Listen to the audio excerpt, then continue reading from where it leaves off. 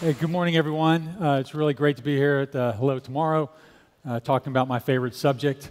So, uh, with that, we'll get started. So, I thought I'd begin with uh, giving you a little bit of mo- my motivation here, and that kind of goes something like this. So, for uh, decades now, we've been advancing technologies and getting experience with human spaceflight, but the feasibility and affordability of space exploration continues to be extremely difficult. So many of the plans and promises that we've uh, looked forward to have really not been, uh, have not been realized yet. And while we've become very good at uh, conducting robotic missions with uh, either going to the moon or going to Mars with rovers or to the outer planets, uh, manned deep space exploration has really remained elusive stuff we still have not, have not mastered it. So it is with that kind of context that uh, after spending 10, 20 years of my career looking at a lot of the traditional engineering solutions, looking at advanced materials, advanced propulsion systems, things kind of realizing that that's not going to be enough. We're still going to need more than that. So I wanted to come up with some something game changing that really had not been explored yet, and um, and we'll be talking about that. So uh, with manned space flight, it's extremely challenging. As I mentioned, there are uh, you have all the food, the water, the consumables uh, that, that we need to maintain the human system. So people are very, uh, are very demanding.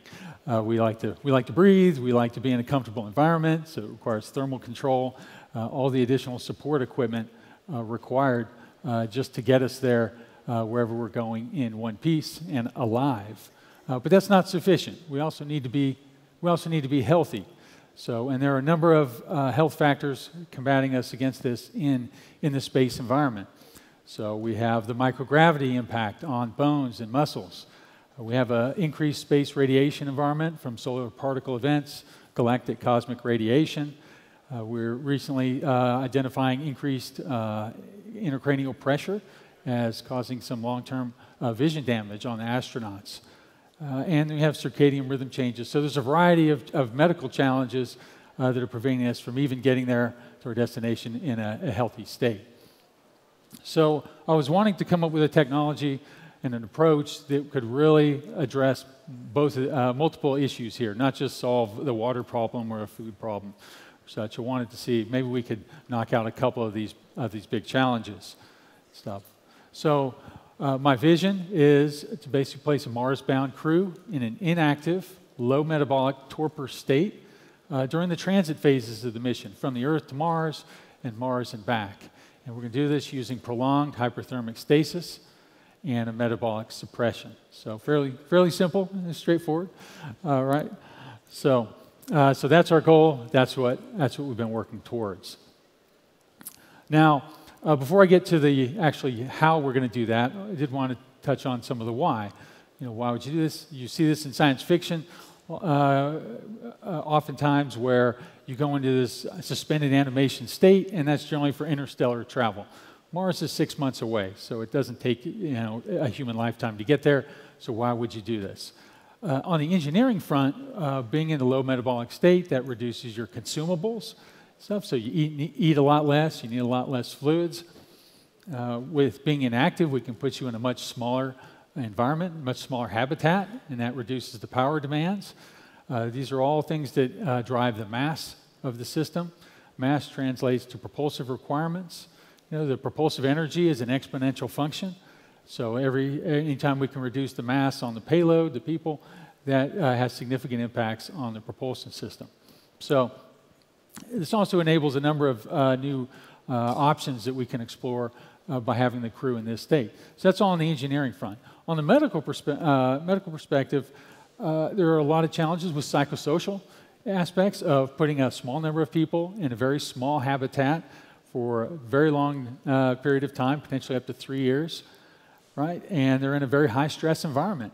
So at least the transit phases where you're kind of drifting uh, through space in the blackness of space, if we can solve that uh, by basically having everybody sleep, uh, we think mentally uh, they'll be in a much better shape when they actually get to their destination. Uh, there's additional approaches that are enabled for muscle atrophy and bone loss, in addition to just a potential reduction uh, in their impacts, being from the reduced metabolic activity Uh, it, it is known to solve the in, increased intracranial pressure uh, that lowers, uh, lowers pressures and prevents some of the eye damage. And there's some early research that we're potential to reduce uh, the acute and long-term radiation damage stuff. So that's still early, but something we definitely want to explore. So uh, both engineering and medical aspects we think is beneficial. Generally, you're trading um, technologies or, you know, you benefit in one area at the expense of another. So, uh, uh, so far, you know, we're kind of seeing benefits on both aspects. So, so that's a little bit of the background. We're going now. When, when I introduce this topic, this is oftentimes uh, brings up a lot of connotations from movies and TV shows and fringe science about you know what, it, what exactly we're doing here. So I've kind of wanted to illustrate here where we're at and what our approach is. So uh, your, you know, your body operates at about 37 degrees uh, Celsius. That's kind of your normal uh, kind of set point. Your body always tries to maintain that. Uh, if you start to cool down from there, you go, you'll start shivering. That's your body's response, autonomic response to warm back up. Stuff. So it's trying to maintain that 37 degrees. If you come down from there, you'll go into a hypothermic state. Uh, below that, at about uh, uh 28 degrees, so uh, you actually start to experience some very significant medical complications. At 27 degrees, your heart will stop functioning. Stuff. It is not designed to operate below that. And then you kind of have a sliding scale from moderate to deep to profound hypothermia. So, so uh, while you've probably seen some stories of people recovered from under the ice in a deep or profound state, uh, you know, that's very, uh, very dangerous, kind of a miraculous stories when that occurs. So, so where we're at, we're actually at the 32 to 34 degrees. That's our target temperature. So we're targeting mild hypothermia. Uh, with that reduction, we can get a 50 to 70% reduction in metabolic activity. And that is actually standard medical practice for therapeutic hypothermia. This is a clinical procedure that is used in cases of traumatic brain injuries and cardiac arrest. So we're leveraging that, that, uh, that technology. In therapeutic hypothermia, when they uh, cool down the body, they use a number of different systems. These are gel packs or saline injection or transnasal catheters and stuff. So a variety of medical solutions to achieving that. So, so I'll come back and, and, touch on that in a moment. But that's where that's kind of where we're at. You will see if you you know reading in the papers, occasionally you'll see stories of uh, where this is being applied. You'll read in induced hypothermic coma. Uh, this is generally applied for periods of two or three days. So they'll cool somebody down, hold them at 32 to 34 degrees.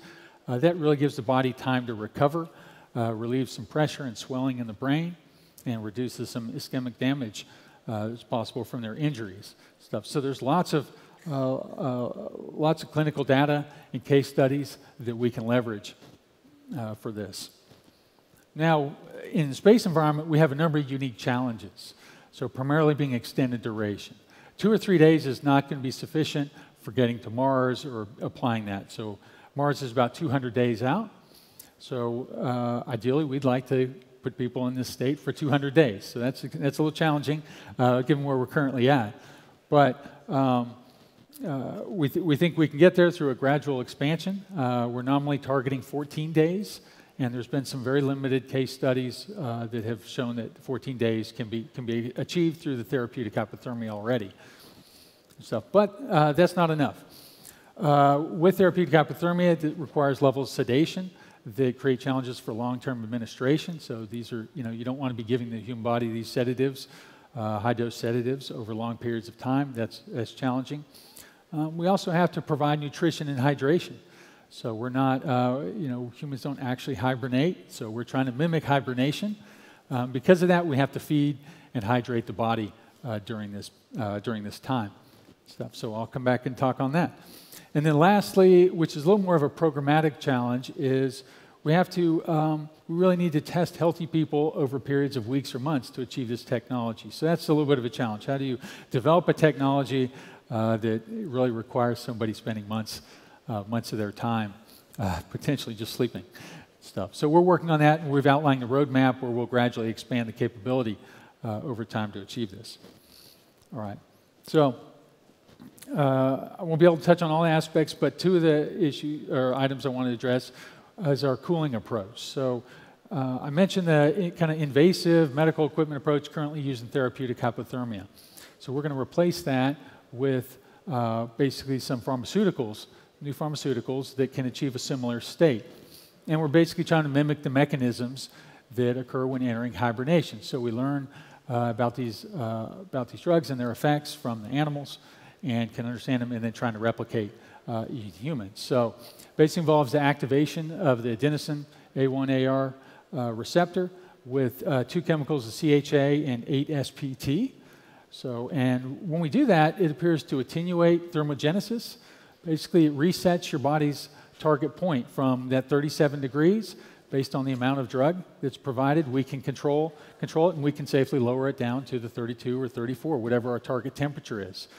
Right? And then, and it also suppresses shivering. So, two, two advantages it eliminates the medical equipment and suppresses the shivering, which allows us to uh, reduce the amount of sedation that we're requiring in the number of those sedatives stuff. So those were two of our big issues.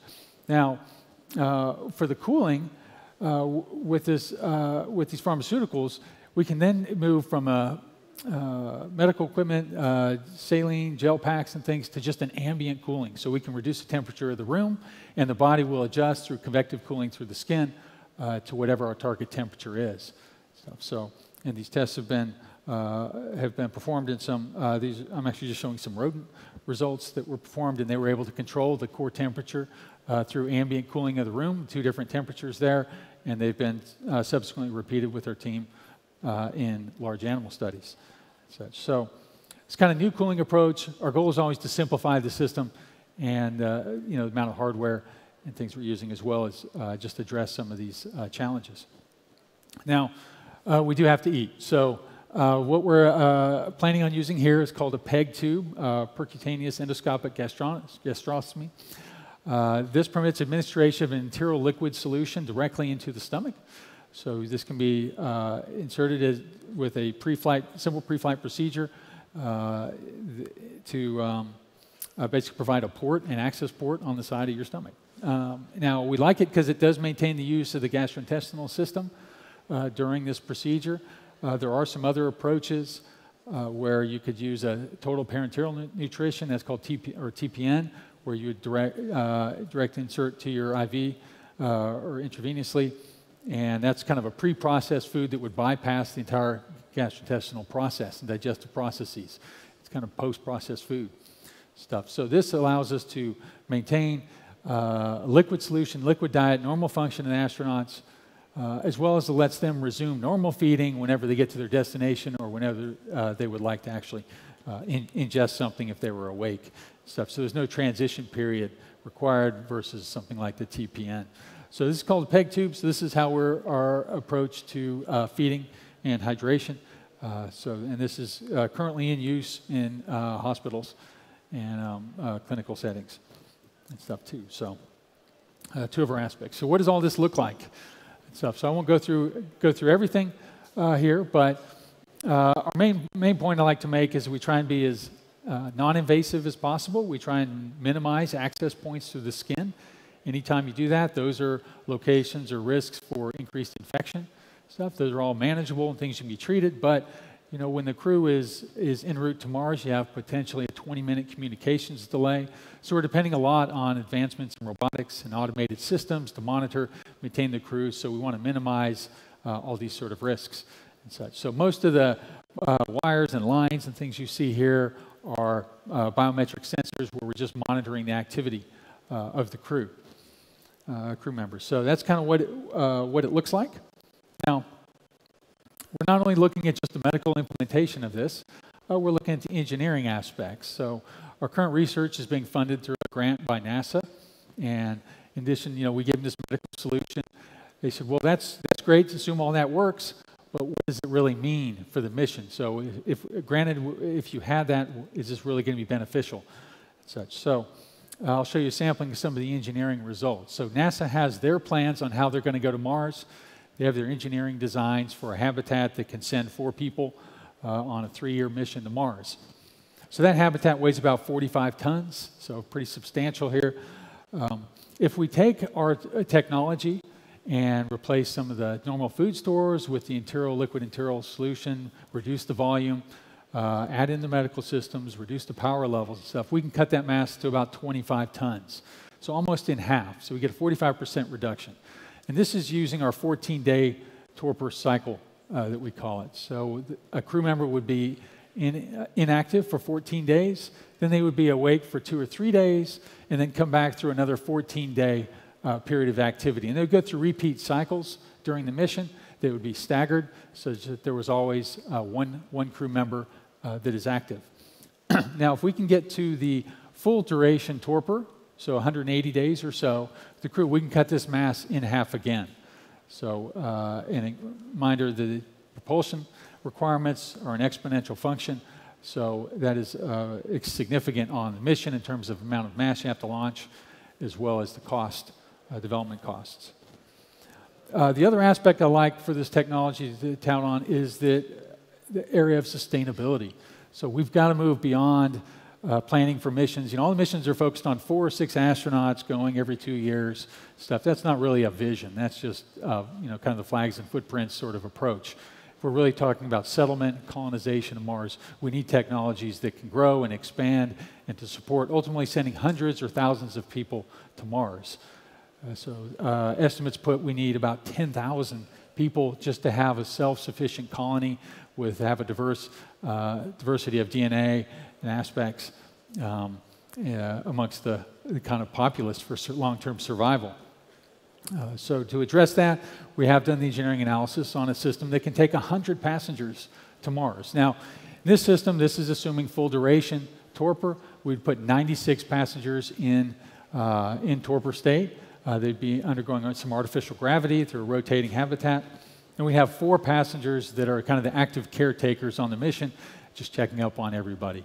Such. So, and that system weighs about two, uh, just shy of 200 tons. So still very reasonable. You cannot do this with, without this technology. We cannot send 100 people uh, to Mars. You're talking 1,000 tons or more stuff. So very, very challenging. So this is another aspect and benefit of this technology that uh, I like to tout. Um, a lot of our focus, and I've been talking about on is Mars, kind of very future. That's still 20 years or so away. Uh, but we realize kind of have, need to have some near-term applications for the technology. Uh, so those are being explored. Uh, there's potential uh, uses with organ transplantation, either on the donor side or on the recipient, or both.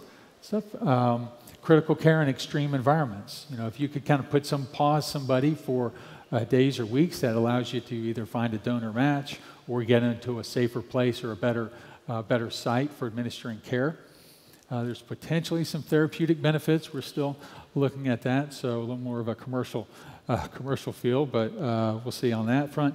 Uh, in the near term, we are likely to go to the, the, moon before we go to Mars. It's kind of a stepping stone for Mars. And we think we can provide support for lunar colonies. It's very easy to send.